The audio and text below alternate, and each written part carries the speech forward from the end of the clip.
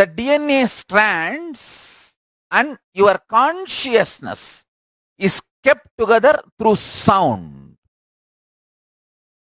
The different DNA strands kept together through water. DNA strands and consciousness is kept together through sound. And the kind of the sounds you use regularly inside and the kind of the sounds you stored inside matters because through that sound your consciousness connects with the dna and sends instruction.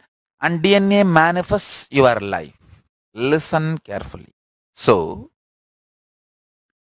if you want superconscious mutation listen. Whether you are kailasavasi or not sannyasi or not, brahmachari or not, grihastha or not, nothing matters if you allow the superconscious mutation in your life. Purpose of becoming Kailasavasi, sannyasi, everything is only this one. Superconscious mutation. If you miss that goal, sannyasi is useless.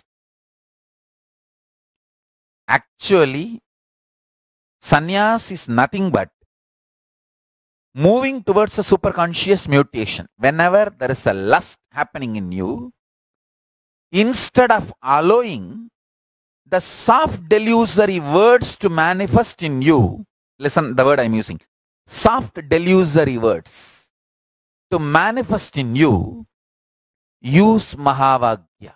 Listen carefully. The soft delusory words are love idea.